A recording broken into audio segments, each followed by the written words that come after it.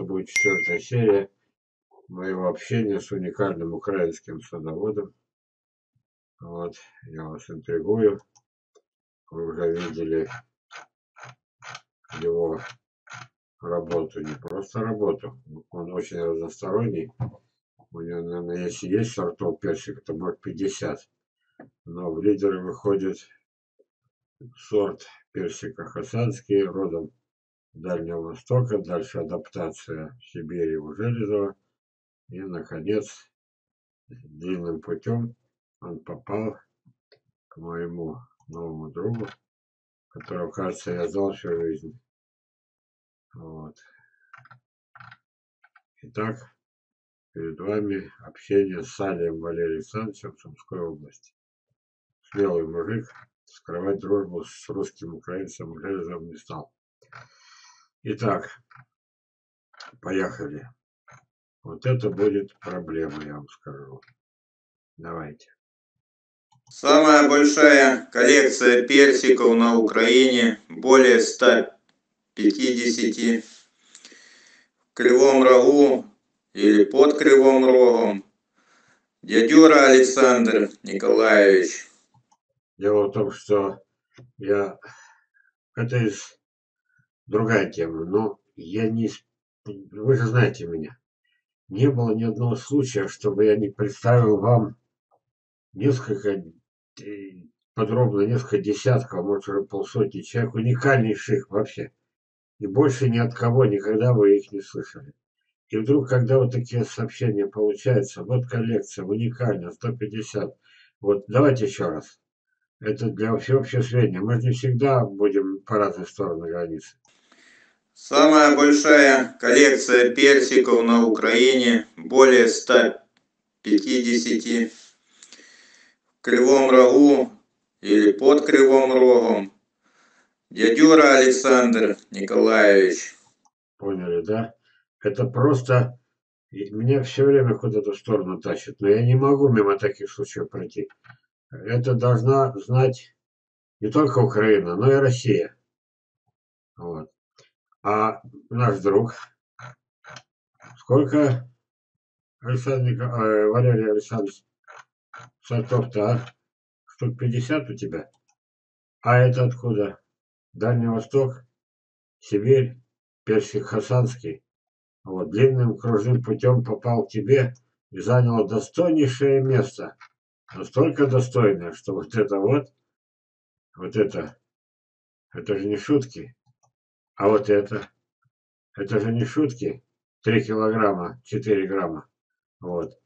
И преисполненный уважения и почитания к уникальному садоводу. Да, в Украине так, такого уровня садоводов десятки, но все-таки э, не последний из них мой друг Валерий Александрович.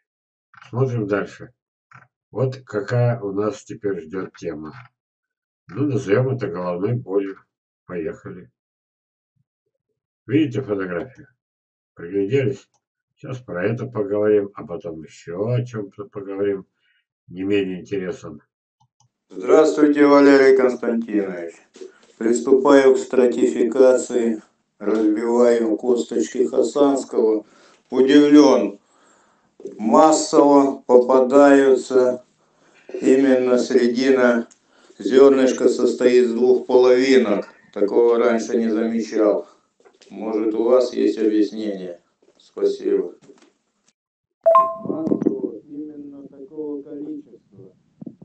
Даже вот сейчас ориентировочно 50 на 50. Массово, ориентировочно, процентов 50 на первый взгляд попадается из разбитого количества косточек.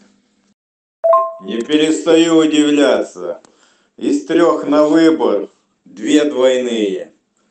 Уже разговаривая с одним, который также будет выращивать эти косточки, сейчас стратифицирует, он удивлен, что это такое за феномен.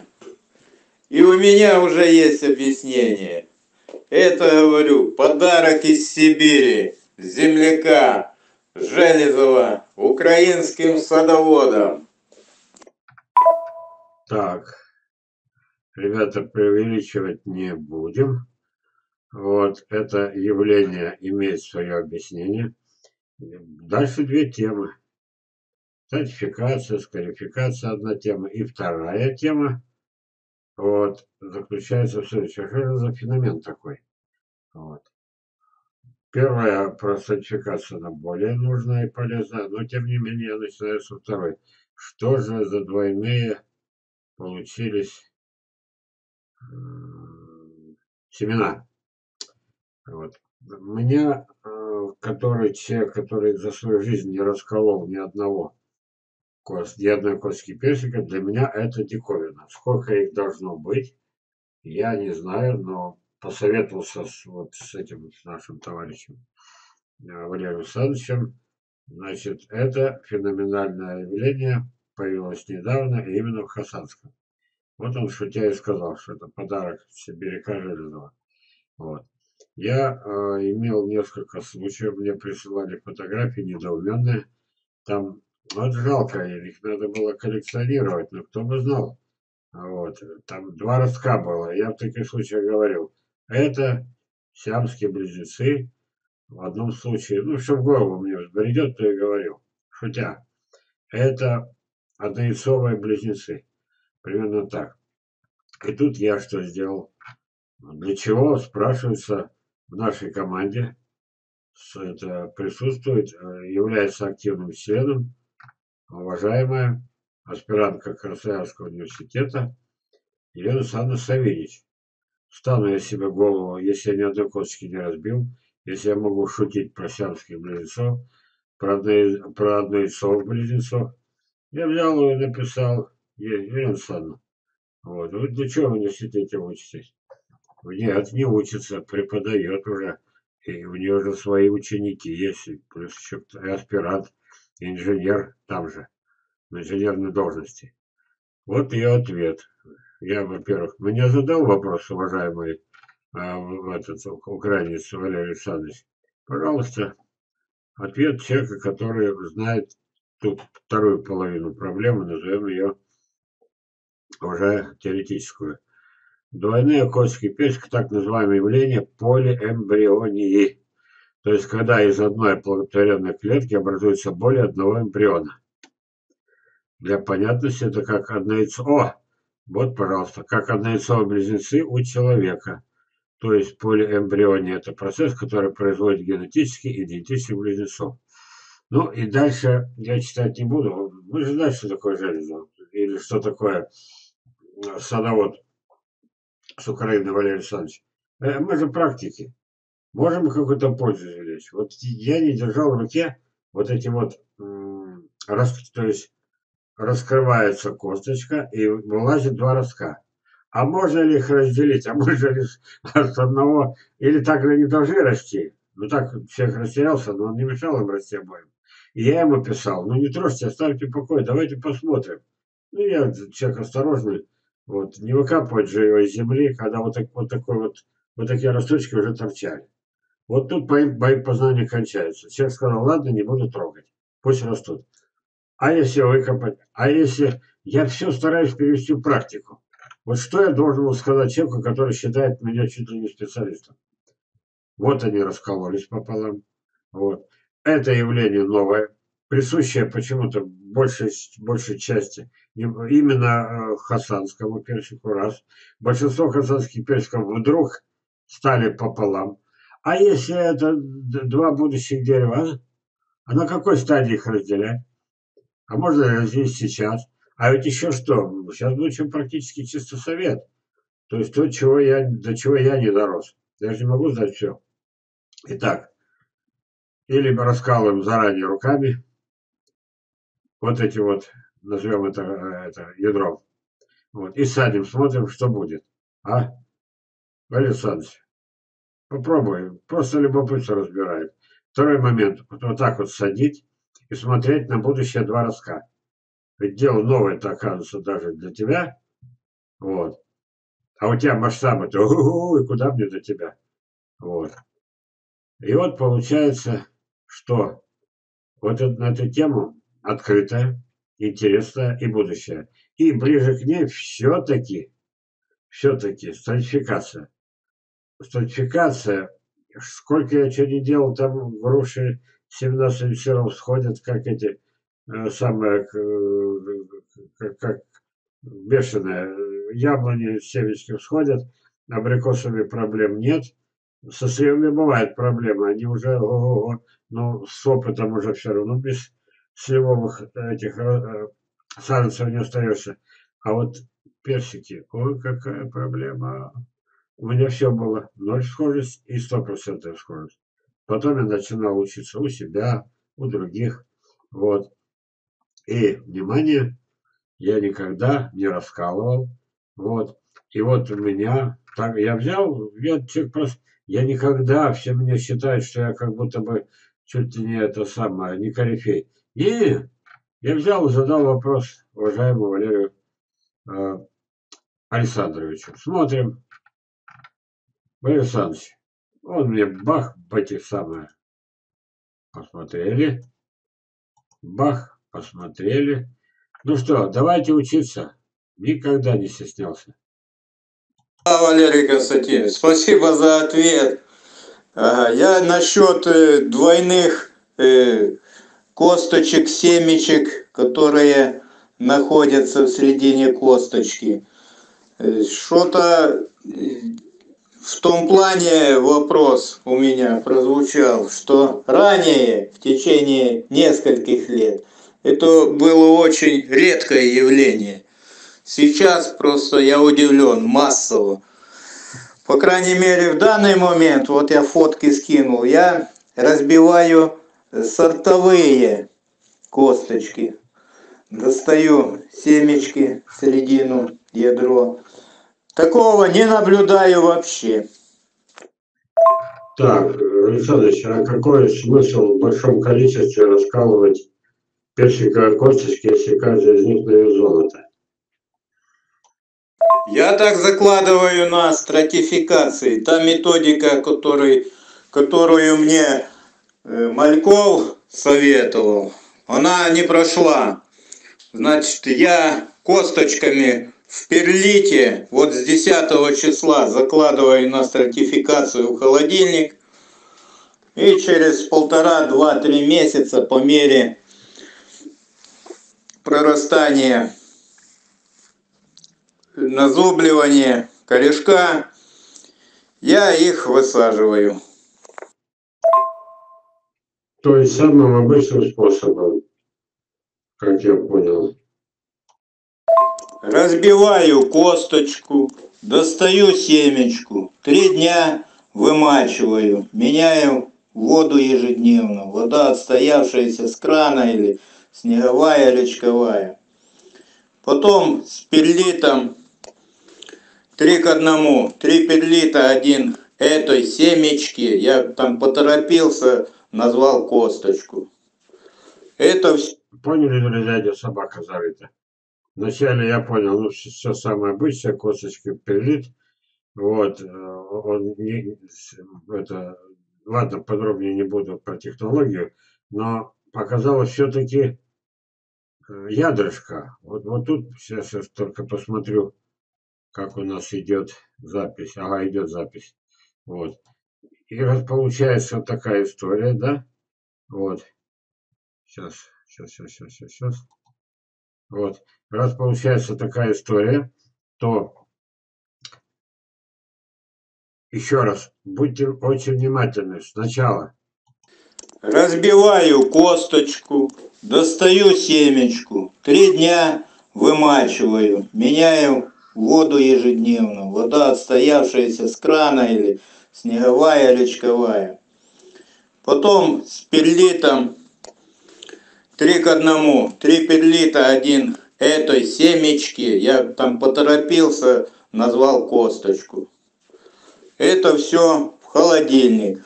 Через неделю-две все перемешиваю, смотрю там, где возможно плесень, не плесень. Ну, в общем-то, в перлите плесени фактически не бывает. И потом по мере назубливания достаю, если это рано. Некоторые просыпают через неделю, не недельку, через месяц назубливаются. Я их в контейнеры были такие случаи, на окошко. И в конечном итоге эти деревья Ну, расхождение у нас есть. На окошко они могут у него и расти, расти, а потом он высадит, а они и продолжают расти. Но я в таких случаях говорю, э, я пробовал не на персиках, Сибирь есть Сибирь. Сегодня, помните, я показывал цветение, а потом метр снега. Всякое бывает. Поэтому потом они у меня растут на окошке, и вот такие вот. А потом, господи, что же теперь с вами делать? А потом начинается тепло, я их высаживаю, они у меня умирают. Вот. Потом в середину я искал, значит, если высаживаю переростки, я их называю, с подоконника, а многие так и делают, я советую выбирать самый холодный день, лучше вечером даже, когда жара прошла. В апреле-мае может быть жара даже в Сибири. И желательно, чтобы шел дождь или, или вот-вот пойдет дождь. Тогда лучше приживается. Вот. Но самый лучший способ проклюнувшийся хранить до высадки, пусть уже в горшках, но в холоде. Это небольшое расхождение. Я не говорю, что делайте как Валерий Александрович, делайте как я. Просто вы знали варианты. первые именно. Самые сильные, самые мощные получаются. Все остальные по мере прорастания высаживаю уже в открытый грунт. Да, и еще вопросик. Самые слабые, возможно, подойдут для выращивания в контейнерах, ну типа бонсай. Как вы думаете, именно хасанский персик? Так, в данном случае я ничего не думаю. Почему? Потому что я никогда не учу, не советую и даже не комментирую то, о чем я не имею понятия. Единственный, нет, вернее, нет опыта. Единственный мой случай раз и на всю жизнь, и готов голову на плаху положить. Микроклонирование как промышленное производство саженцев, кустарников, деревьев. Вот, я уж не говорю, не, не буду говорить про цветочки и прочие эти, но деревьев особенно. Это тупиковый, опасный, смертельный путь, еще хуже, чем э, эти самые клонированные Э, деревья с палки прочными корнями. Еще в тысячу раз страшнее. Вот. Вот это единственный случай, когда я, не зная, не проверяя, говорю, это овечки доли, это тупик. Вот. Это мое мировоззрение. И никогда, никогда больше я не берусь комментировать, я вот это вот комментировать не стал. Вот это вот. Да, и как вы думаете, Именно хасанский персик. Так, идем дальше. Значит, косточки персика из Китая. Так, в принципе, все. В общем, что получилось, друзья? Вы узнали, я, я, я, нет, не вы, вы, может быть, больше меня знаете. Я узнал уникальный способ.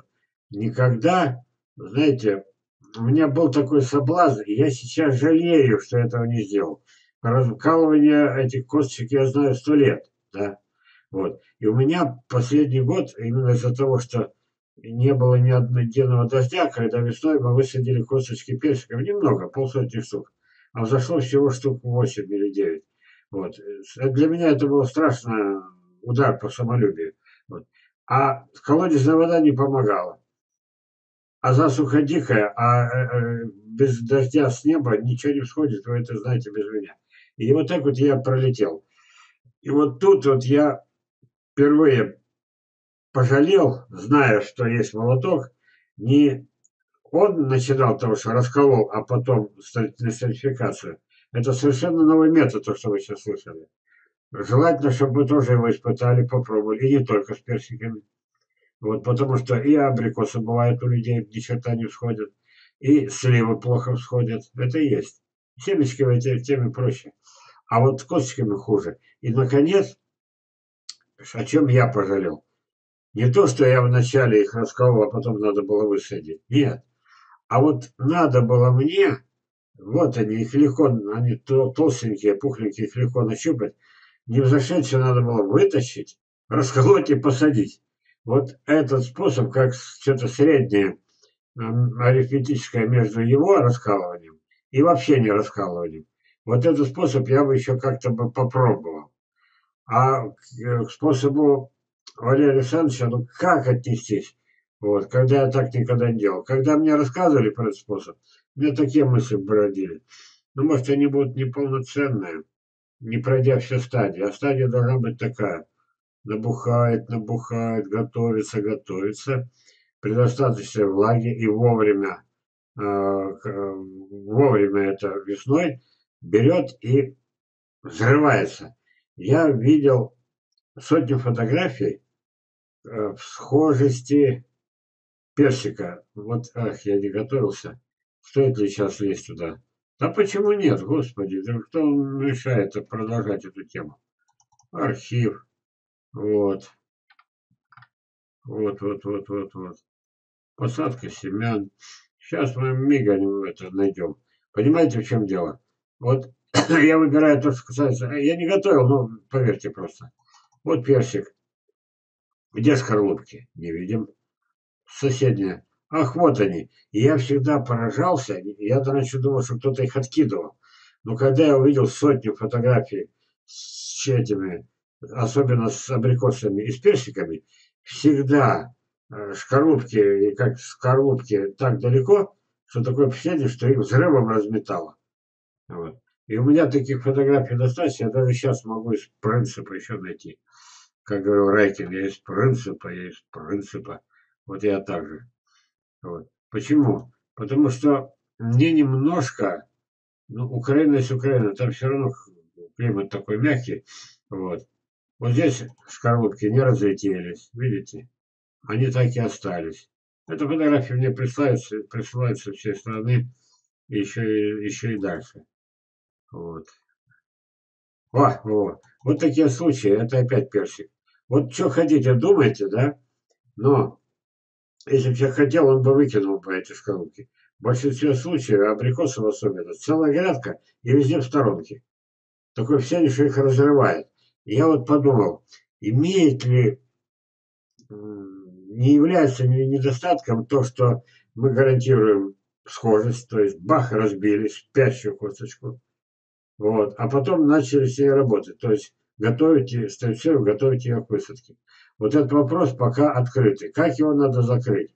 Очень просто. Все, чем мы занимаемся, эти вопросы должны быть предназначены не нам, а науке. Понимаете, друзья? А что такое наука? Это значит, что э, имеют ли эти э, вопросы смысл? А, они имеют огромный смысл. Почему? Кто сказал, что мы добились совершенства? Да, вы возьмете э, любой справочник. Чаще всего вы встретите сырой песок, хранение при температуре близкой к нулю. Вот, стратификация – это создание условий э, влажности и, ну, почти дословно цитирую, создание влажности и э, перезимовки, вот, а потом, потом, значит, все само собой происходит. И, но сроки разные, а у, а у персика почему-то 4-5 месяцев. Кстати, ставлю вас в известность. Послезавтра я начинаю стратификацию той самой злосчастной посылки, которая пришло 820 косточек. Кстати, уже сотни-две разосланы. И вот получается, что есть вопрос. Как они решаются? Я считаю вопрос к науке, подчеркиваю, не ко мне, не к Валерию, а к науке. Вот так, как вот на фотографии. Расколол, а потом на стратификацию. Ни одну, ни две, сто, тысячу высадил густо, как помидоры, еще лучше, как морковку. Вот, вот так вот. И тут же с, на соседней грядке та же почва, все точно, время, сроки. Вот. Обычная стратификация.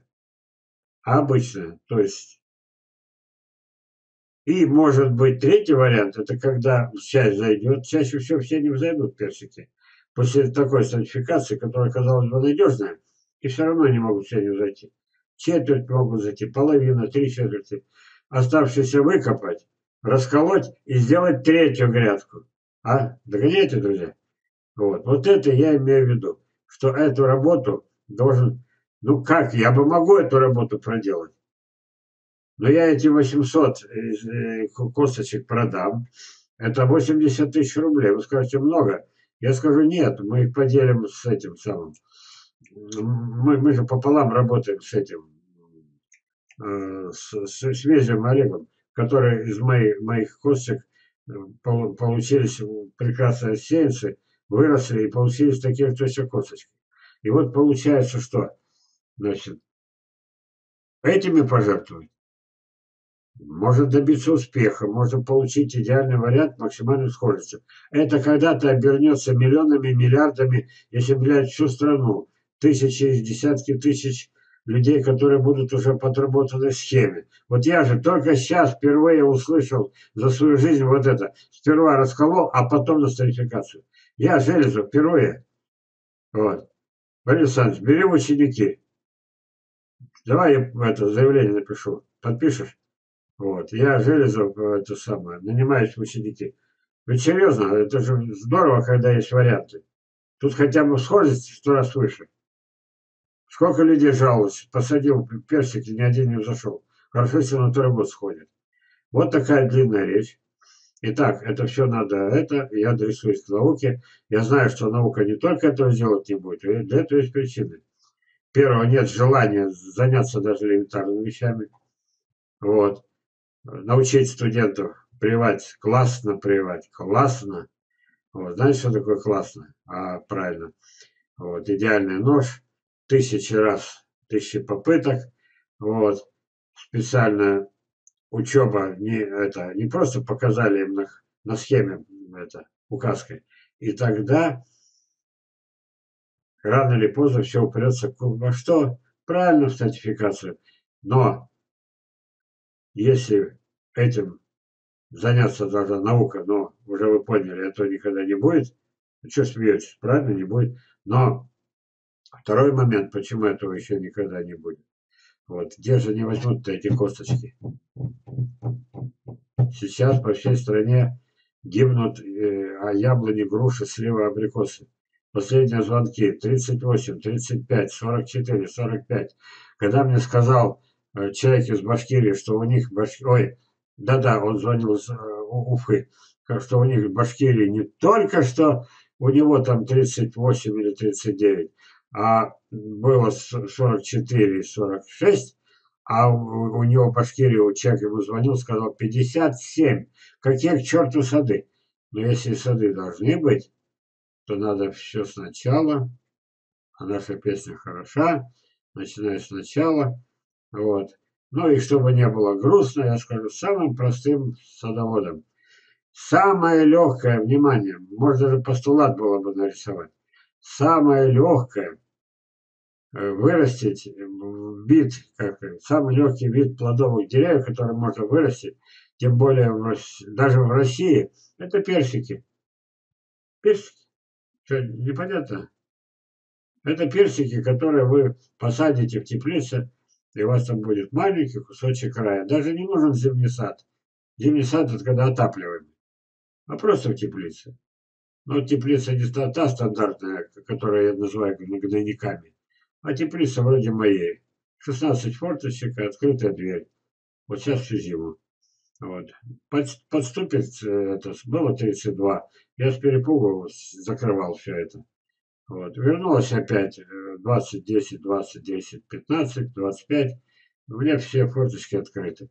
Вот ну, дальше не знаю, что говорить. Валерий Александрович, еще раз. Огромное спасибо. Громадное спасибо. Вот за эту фотографию, за эту за это. Это хасанский персик, который разными путями окольными попал от меня к вам. Вот. Огромное спасибо. И огромное спасибо, что, как я помните, еще в одном из фильмов говорю, пусть я буду называть Иванов Иван Иванович вас. Вот. Вот он, Салий Валерий Александрович, Сумской области, город Ромны. Все, друзья, я разговорился, я волнуюсь. Вот, это четвертая серия, которую я посвятил общению со своим земляком. каждое общение с земляками для меня это праздник, это подарок. Вот. Это огромная э, благодарность. Ну, грязью можно было вот это вот. Ведь жил же я и не знал этого, что это от меня попало в конечном счете к человеку, который умудрился потом три килограмма от кому-то а, переслать на это, на сертификацию на, на пятигектарный будущий сад. Вот кто такой Валерий Александрович. Все. До свидания, друзья. У меня нет слов. Пойду сейчас разволновался и думаю, что же выпить это 50 грамм коньяку или таблетку валидола.